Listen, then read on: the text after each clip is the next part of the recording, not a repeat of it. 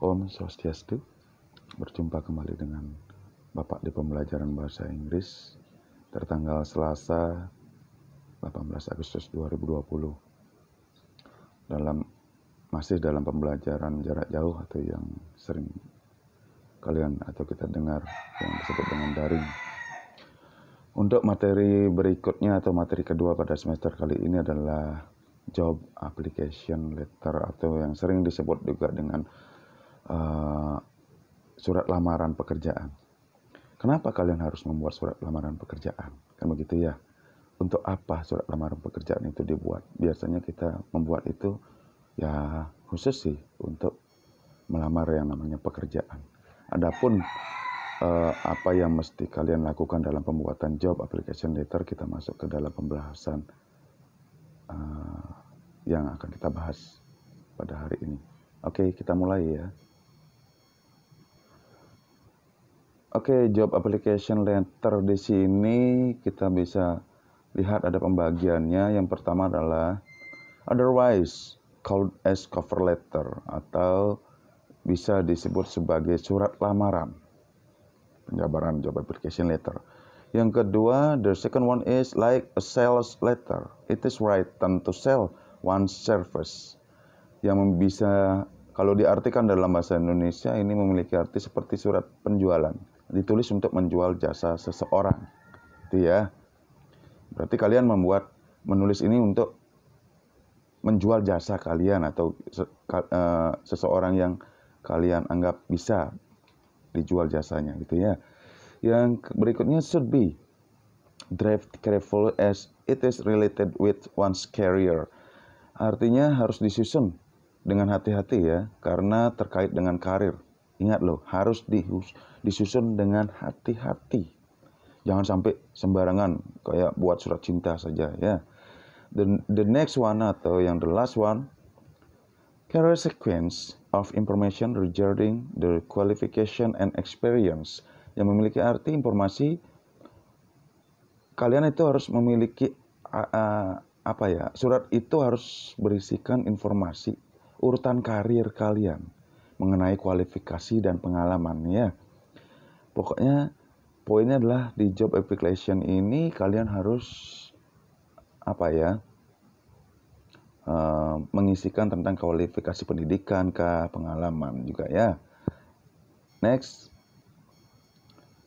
uh, types of application letter. Types of application letter atau jenis-jenis daripada uh, surat lamaran itu. Apa saja sih jenisnya? Di sana Pak sudah tuliskan ada dua. The first one is solicited letter. Tahu kan? Solicited letter itu artinya surat yang diminta. Artinya bagaimana? Surat yang diminta itu gitu. Artinya, an application letter that is sent to a company that advertises its vacancies through the media. It's the meaning, if we want to change to Indonesian language, surat lamaran ini dikirimkan ke perusahaan yang mengiklankan lowongannya melalui media. Artinya kalian sudah menemukan dulu di media massa atau di mana media cetak ataupun uh, sosial media. Di sana tertera sebuah lowongan pekerjaan gitu ya. Barulah dari sana kalian membuat yang namanya surat lamaran. It, itu yang disebut dengan solicited letter atau surat yang diminta gitu ya. The second one is unsolicited letter. Artinya surat yang tidak diminta. What is the meaning of unsolicited letter? An application letter that is sent to a company although you don't know whether there is a vacancy or not in that company. Dalam artian begini. Kenapa uh, surat uh, yang tidak diminta atau unsolicited letter itu dibuat? Surat lamaran ini dikirim ke perusahaan meskipun Anda tidak tahu apakah ada lowongan atau tidak di perusahaan itu gitu loh ya ngerti kan maksudnya dalam artian kalian membuat uh, su surat lamaran ini tanpa uh, tahu dulu apakah ada lowongan apa tidak gitu ya. Oke, okay, next. Guidelines for job application letter. Uh, garis-garis uh, yang harus kalian pahami atau ketahui sebelum membuat uh, surat lamaran pekerjaan itu. The first paragraph. Ingat, first paragraph. Uh, saya sudah membagi di sana divided into uh, three paragraphs. The first one is why you are writing. It means why you are writing the application letter. Uh, artinya kenapa sih kamu membuat uh, surat lamaran ini gitu loh ya. Dalam artian di sanalah tertuang di paragraf pertama tertuang kenapa kamu membuat surat lamaran itu gitu loh ya. The second paragraph, what is your have to offer? Apa sih yang kalian tawarkan itu ada di paragraf kedua. Ingat, jangan digabung ya. Paragraf pertama uh, mengenai apa sih tujuan kamu menulis itu gitu ya. Ya pastilah karena ini application letter berarti job application letter berarti kamu sudah menulis tujuan kamu ya tujuan kamu untuk membuat uh, surat itu otomatis ya kamu bertujuan untuk uh, apa namanya itu melamar pekerjaan di sana. Second paragraph, what you have to offer, apa yang kamu uh, yang ingin kamu tawarkan gitu ya, tertuang di paragraf kedua. Dan paragraf the third paragraph, paragraf tiga, how you will follow up. Bagaimana kamu itu uh, setelah menawarkan kamu mempertanggungjawabkan gitu ya apa aja yang kamu punya gitu loh ya untuk mendukung uh, yang kamu tawarkan tadi. Contohnya kamu memiliki pengalaman kerja kah untuk mendukung di uh, paragraf kedua itu ataupun uh, pendidikan yang kamu miliki untuk mendukung isi daripada paragraf kedua. Ya. Next, structure of application letter. Nah, ini di sana ada strukturnya ya. Apa sih yang kamu harus tulis atau bagan daripada surat yang kamu ingin buat. Yang pertama adalah date of letter. Ya, tanggal ya. Date of letter at the left of the letter. Berada di sebelah kiri ya. Mungkin sekarang uh, karena imbas daripada apa ya? Uh, kemampuan kita menulis boleh ditulis di kanan katanya, boleh di kiri katanya. Yang poinnya adalah kalau kita menghadapi kertas, kalau kita menghadapi kertas berada di kanan atas ya, sudut kanan atas. Tapi kalau di sini saya bilang uh, at the left of the letter berarti uh, surat itu yang kita hitung adalah kita men, wajah surat itu ada di kita. Artinya kalau ibarat nih kalau kalian melihat seseorang berarti ada di sebelah kirinya diam itu. Sama seperti kita menghadap kepada surat itu. berarti surat itu ada di sebelah kanan. The second one is applicant's complete address. Ya. Ingat, di sana ada name, postal address, postal address berarti halaman daripada alamat itu, phone number, ya, apa pun boleh di sana yang terlihat. Di sana kalian harus um, mengisikan applicant's complete address, ya.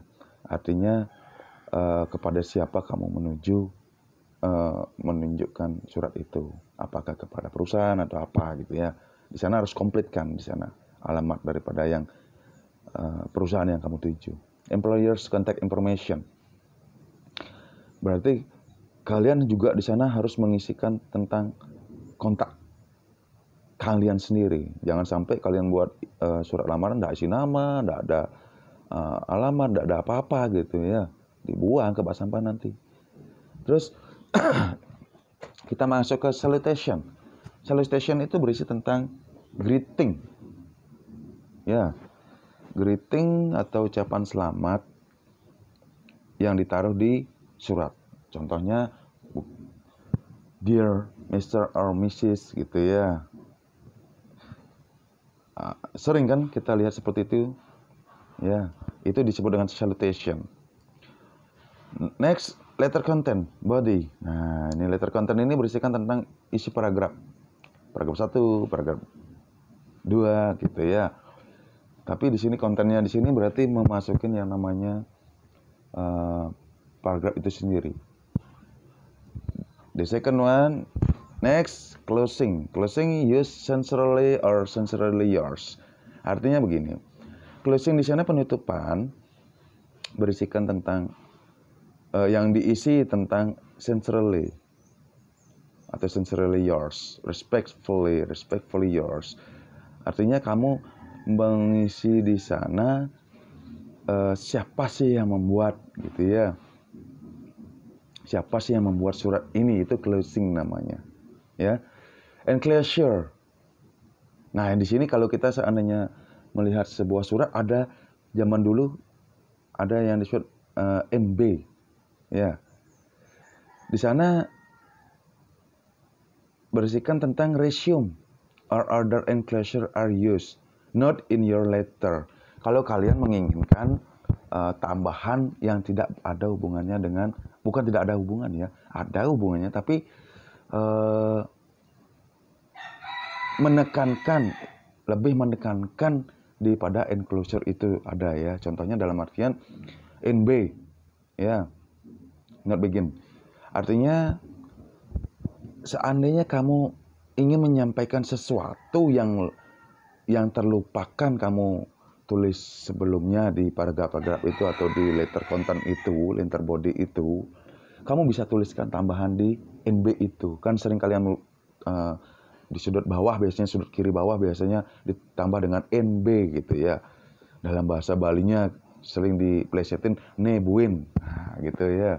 Itu uh, sering dituliskan di sana. Kalian bisa menambahkan contohnya mungkin saja eh, apa ya tambahannya wawancaranya silahkan eh, perusahaan yang mengatur gitu contohnya. Atau bisa hubungi saya pada jam-jam eh, yang sudah ditentukan oleh perusahaan. Atau saya bebas eh, pada jam-jam apa pun gitu untuk melakukan wawancara gitu. Boleh kalian mengisikan di sana ya. Opening paragraph. Ya.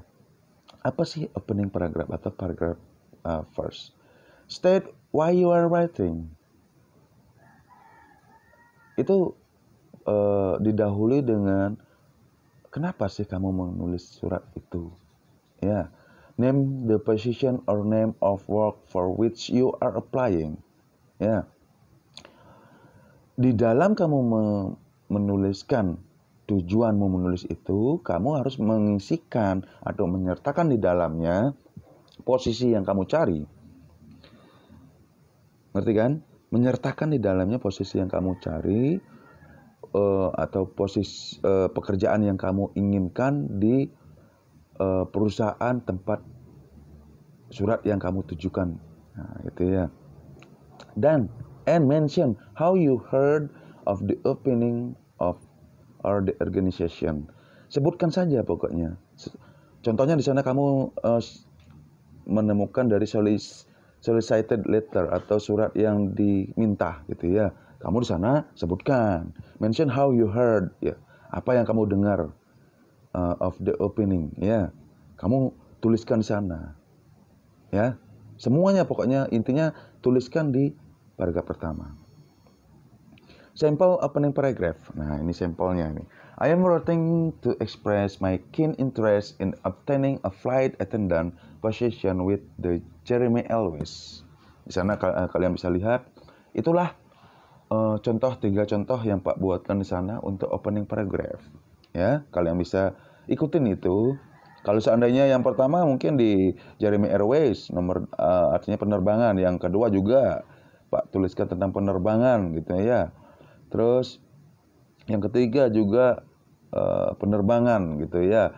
Nah, di sana kalian bisa variasikan. Yang pertama mungkin kalian bisa, yang kedua mungkin kalian bisa pilih, yang ketiga juga bisa kalian pilih juga. Yang mana pun bisa. Yang penting mengisikan tentang tujuan kalian membuat uh, surat itu yang disertakan dengan uh, isi daripada tuj uh, maksudnya kamu berisikan tentang perusahaan yang kamu tuju itu itu paragraf pertama. Nah di sini Bapak sudah uh, menuliskan sampelnya ya, sampelnya tadi sampel openingnya ya ini sudah Pak gabungkan di sini kalian bisa baca sendiri di sana nanti di rumah gitu ya. Kalau seandainya Pak berikan tugas buatlah sebuah surat uh, lamaran pekerjaan. Nah, ini untuk sampel opening paragrafnya kalian bisa gunakan di sini ya. Next. Berikutnya adalah second paragraph. Paragraf kedua. Apa sih isi isinya apa aja sih gitu ya. Untuk paragraf kedua padahal aku sudah malahan uh, sudah naruh di paragraf pertama loh tujuan dan perusahaan yang aku tuju. Nah, terus paragraf dua isinya apa ya? Nah, di sini ada Pak sudah terangkan di sini, tuliskan di sini. Explain why you are interested in working for the employer gitu ya. Jelaskan kenapa kamu tertarik untuk bekerja sebagai uh, karyawan di sana. Ya di sana kalian uh, jelaskan ya kenapa kalian ingin kerja di sana. Contohnya kalian bekerja di hotel gitu. Kenapa sih kamu memilih hotel itu? Mungkin hotel itu bagus, hotel itu besar, hotel itu terkenal, silakan di sana. Ya, kenapa kamu tertarik untuk kerja di sana itu aja poinnya. The second one, specify your your reasons for desiring such type of work gitu ya. Artinya gini, spesifikasikan apa sih yang kalian miliki yang berhubungan dengan pekerjaan yang kalian lamar. Artinya gini, kalian tuh contohnya punya basic uh, gini ya pendidikan gitu ya yang berhubungan dengan uh, ke tempat yang kalian ingin tuju. Tidak mungkin kan kalian tuh mengirim surat lamaran, mengirimkan surat lamaran uh, sembarangan, artinya tidak berdasarkan basic yang kalian miliki. Ntar masa masalahnya kalau kalian diterima, kan kalian nggak bisa kerja juga, karena kalian nggak ngerti apa apa tugas uh, yang kalian harus lakukan di tempat itu. Makanya spesifika, eh, spesifikasikan di sana. Ya, alasan-alasan apa? Penunjang, alasan penunjang untuk bisa kamu kerja di sana. Next, if you have had relevant work experience or related education, be sure to point it out, but don't re reiterate your entire resume. Artinya begini. Nah, di sini yang Pak tadi sudah sebutkan di sini. Jika kamu memiliki pengalaman kerja yang relevan, pastikan untuk menunjukkannya. Tetapi jangan mengulangi seluruh artinya jangan mengulangi di sini artinya muter-muter gitu ya. Di awal sudah disebutin, bentar lagi disebutin, jangan kayak gitu. Pokoknya kalian cukup mengucapkan sekali saja resume Anda itu ya. Uh, tulisan Anda Jangan diulang-ulang gitu ya. Next, emphasize skills or abilities you have that relate to the job for which you are applying. Artinya di sini tekankan keterampilan atau kemampuan yang Anda miliki. Emphasize itu artinya tekankan skill ya. Tekankan skill yang kalian miliki atau kebiasaan abilities. Tekankan di sana ya. Gimana pun caranya kalian nanti juga Pak akan berikan contohnya. Tekankan kayak apa sih Pak? Tekankan ya. Nanti lihat. Be sure to do this in confident manner and remember that the reader will view your letter or application as an example of your writing skills. Pastikan hal ini dengan cara meyakinkan dan ingat bahwa pembaca akan melihat surat Anda dengan keterampilan menulis Anda. Nah, jadinya begini, writing skill di sini Artinya, kalian diharapkan untuk menulis yang sebagus-bagusnya. Yang seindah mungkin. Karena biasanya di mana-mana yang namanya adalah uh, application letter itu tulis tangan ya, tidak ada yang diketik. Kenapa harus ditulis tangan? Karena di sini kalian akan dilihat tulisan kalian tuh bagus enggak? Uh, bisa dibaca enggak gitu ya? Dalam artian tekankan di sana walau sambil menekankan uh, tujuan kalian kemampuan kalian tentang pekerjaan itu, basic skill kalian tentang pekerjaan itu, ingat loh, kunci yang paling utama juga adalah writing skill kalian. Kalau kalian memiliki tulis tangan yang buruk, gimana ya? Nah, mungkin ada pertanyaan begitu. Pak, tulisan tangan saya jelek, Pak. Berarti yang sing meman-man uh, gail. Berarti saya nggak bisa uh, dapat pekerjaan deh, Pak ya. Waduh, di sini sudah Pak gambarkan. Biasanya para psikolog bisa mengenali uh, kalian, jiwa kalian, sifat kalian dari tulisan kalian. Dan biasanya lagi, kalau sudah tulisannya jelek-jelek, ya pastilah orang itu memiliki pasti sikapnya adalah atau sifat orang itu sudah terbaca. Sifat orang itu tidak bisa sabar. Inginnya cepat-cepatan aja. Orang yang cepat-cepatan biasanya tulisannya jelek gitu loh ya. Nah, itulah salah satu skill membaca para psikolog dilihat dari segi tulisan. Kalau sudah tulisannya jelek berarti orang ini gak sabar orangnya. Itu aja. Makanya, Pak gimana dong jalan keluarnya? Ya jalan keluarnya belajar nulis lagi kayak anak SD. Biar bagus, biar indah gitu ya. Simply put.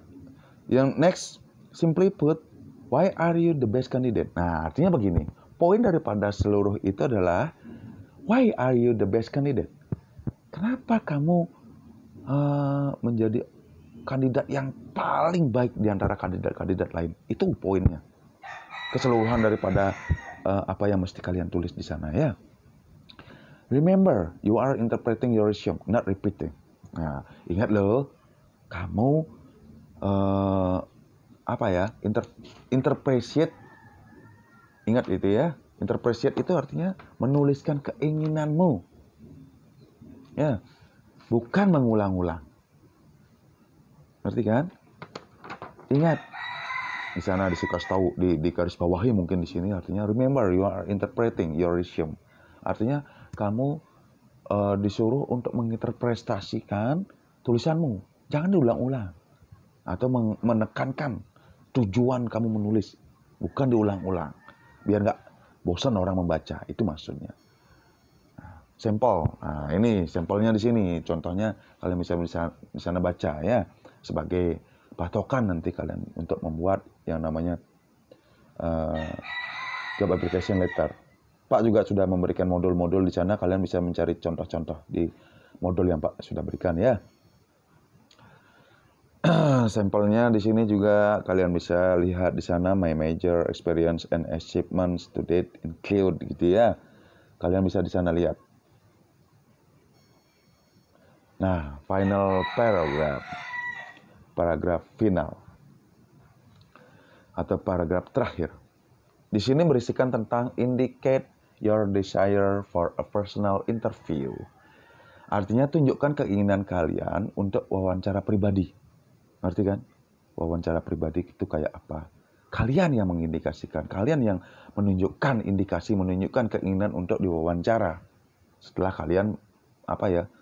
uh, setelah kalian mengirimkan surat itu. Nah, di mana letaknya indikasinya ini? Nah, tadi di net uh, net base-nya tadi, NB-nya yang tadi Pak tuliskan uh, sebutkan tadi, ya di sana tulis indicate your desire for a personal interview. Bisa di sana. Ya. Tunjukkan keinginan untuk uh, wawancara pribadi biar perusahaan itu mau menelpon Anda atau mau menginterview Anda. Itu loh. You may suggest alternative dates, time, or advice of your flexibility as to time or place, and would like to set up an interview you or say you are willing to accommodate the company's schedule and request.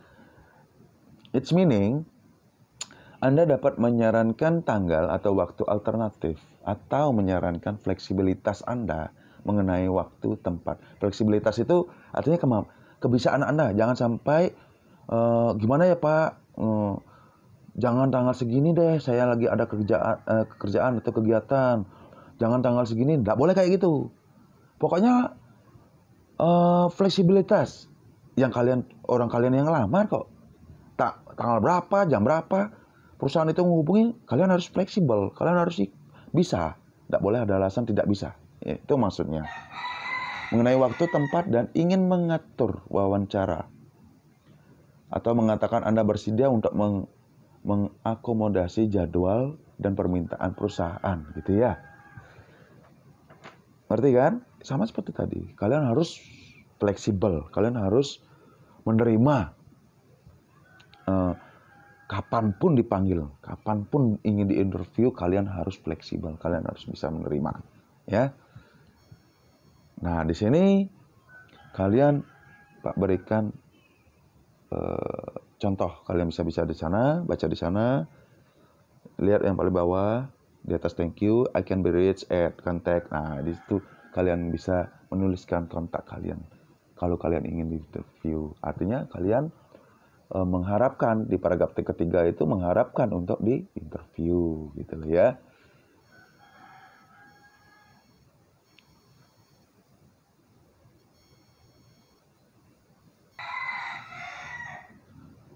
Oke, sekian tadi penjelasan dari Pak mengenai job application letter. Kalau seandainya kalian masih bingung dengan apa yang mesti kalian buat, bagaimana cara membuatnya, kalian bisa uh, bertanya langsung ke Pak lewat Japri WA atau apa, silahkan di jam-jam aktif ya.